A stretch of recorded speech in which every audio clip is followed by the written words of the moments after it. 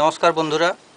Adenium গাছের কীভাবে pruning করতে হয়, কাটা ডাল থেকে কীভাবে আরও নতুন করে গাছ করতে হয়, তো সেটা আমি আপনাদের দেখাবো।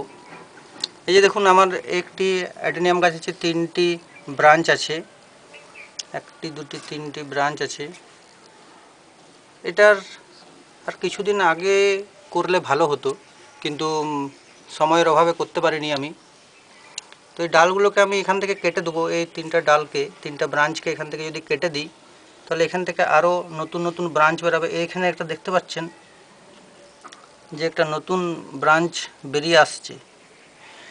তার মানে বুঝতে হবে যে এখন কেটে দিলে পরে এটা নতুন ব্রাঞ্চ আসার টাইম। হুম। পরে আর কিছুদিন গরম পড়লেই এটা থেকে প্রচুর ব্রাঞ্চ বেরোবে এবং প্রচুর ফুল আসবে। তো অ্যাডিনিয়াম গাছের মাঝে মধ্যে ব্রাঞ্চ কাটতে হয় যাতে আরও প্রচুর ব্রাঞ্চ বেরায় এবং গাছটা বুশি লাগবে। যত বেশি ব্রাঞ্চ হবে, তত বেশি ফুল আসবে। তবে কাটার কিছু নিয়ম আছে। এখানে দেখুন, এই গাছটা, এটা গ্রাফটিং করা।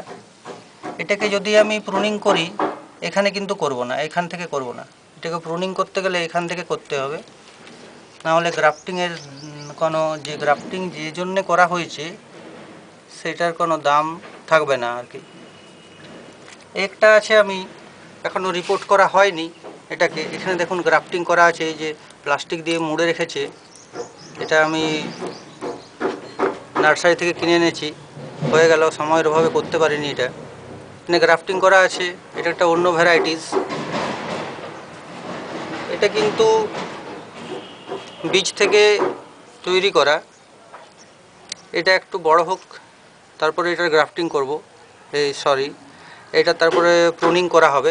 এটা দেখুন কর্ডেক্সটা মোটা, এটার কর্ডেক্সটা মোটা। হুম, এগুলো, এটারও কর্ডেক্সটা মোটা। কিন্তু আমি যদি ব্রাঞ্চ থেকে কেটে করি, তাহলে কর্ডেক্সটা অতটা মোটা হবে না। তো ধীরে ধীরে মোটা হবে। তো যা হোক, অনেক কথা বললাম। প্রুনিং করার জন্য কি কি জিনিস দরকার সেটা আমি দেখাই। একটা কাটার যে কোনো একটা কাটার নেবেন। এরকম কাটার নেওয়া যেতে পারে বা এরকম কাটার না নেওয়া যেতে পারে। আর একটা নিয়েছি আমি কটন আর নিয়েছি হাইড্রোজেন পারঅক্সাইড সলিউশন এটা আপনার কাটারগুলোকে যাতে জীবাণুমুক্ত করা যায়, তার জন্যে। আর নিচে এটা হচ্ছে সাপ পাউডার, এটা হচ্ছে ফাঙ্গিসাইড। আর নিয়েছি একটা মোমবাতি আর লাইটার। তো প্রথমে আমি একটু তুলো নিয়ে নিচ্ছি। তুলো নিয়ে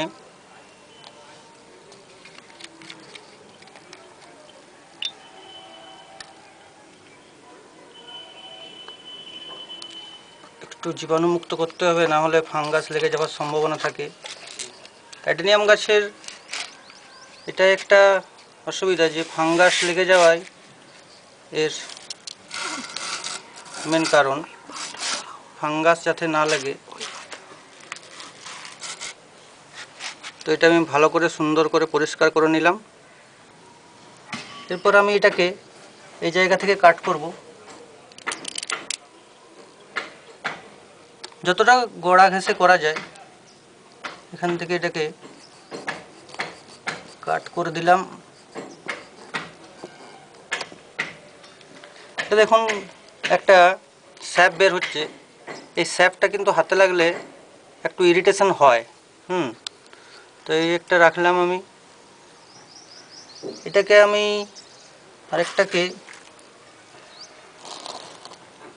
মোটামুটি এখান থেকে কাটছি। একটু নিচে কাটলেও ভালো হতো, কিন্তু এই নোটগুলো রাখা দরকার। এই নোটগুলো যদি ভালো করে রাখি, তাহলে ওই নোট থেকে নতুন ডাল বেরোবে। তো এখান থেকে এটাকে আমি কাট করছি।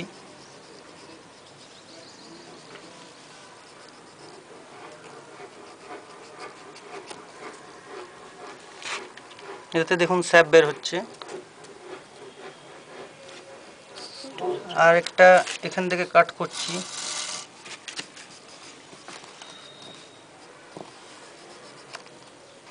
তো সামান্য ফাঙ্গিসাইড পাউডার লাগিয়ে দিতে হবে, হুম।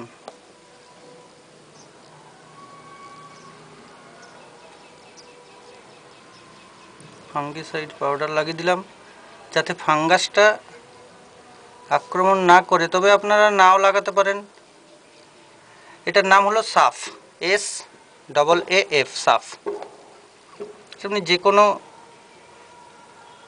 গাছ সম্বন্ধীয় ওষুধের দোকানে গেলেই পাবেন। এটাও লাগিয়ে দিলাম আমি।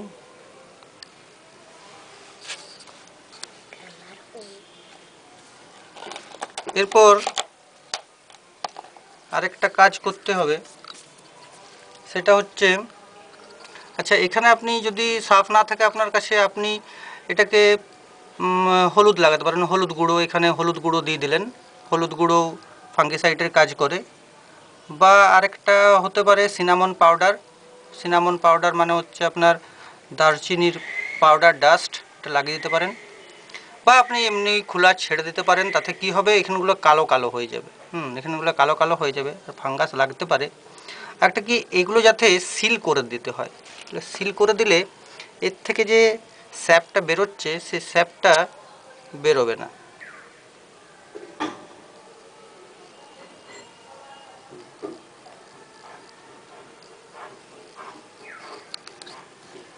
এটা দিলে কি হবে? মানে এটা সিল হয়ে যাচ্ছে আর কি।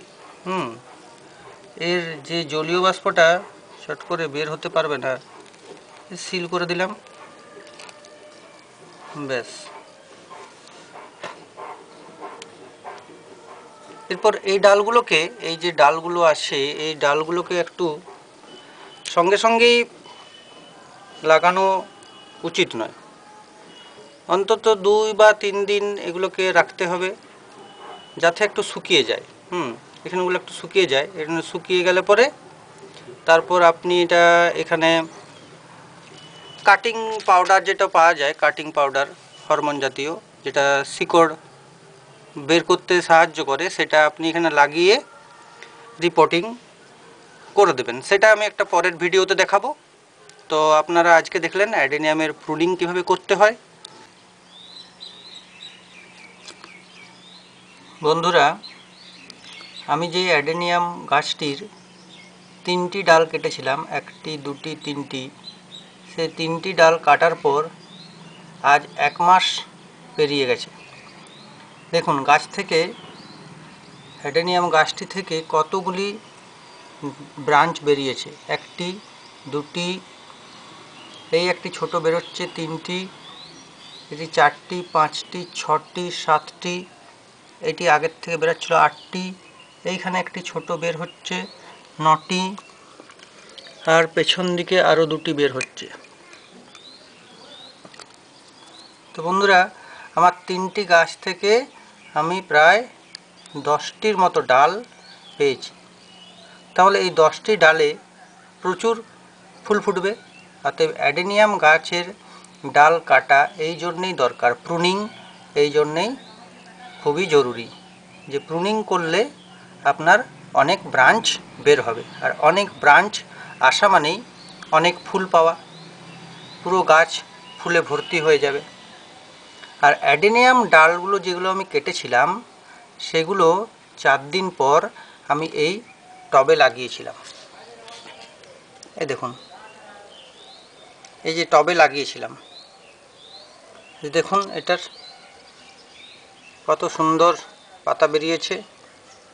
এইটারও, এই টবে আমি কি দিয়েছিলাম? কোকোপিট, মাটি আর বালি এবং ভার্মি কম্পোস্ট তো বন্ধুরা, যদি ভিডিওটি ভালো লেগে থাকে, অবশ্যই লাইক করবেন শেয়ার করবেন এবং সাবস্ক্রাইব করবেন। নতুন নতুন ভিডিও পাওয়ার জন্য ধন্যবাদ।